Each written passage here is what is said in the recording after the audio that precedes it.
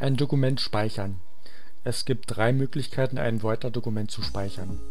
Mit der gleichzeitigen Betätigung der Tasten STRG und S oder wählen Sie Datei Speichern oder klicken Sie auf die Schaltfläche Speichern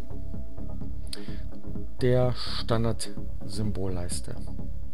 Sie können weiter auch so einstellen, dass Ihr Dokument automatisch in bestimmten Intervallen gespeichert wird. Wählen Sie Extras, Optionen, wählen Sie Laden, Speichern, Allgemein. Bei Speichern von Auto-Wiederherstellungsinfo alle 15 Minuten legen Sie das Intervall fest. Der Standardwert ist 15 Minuten.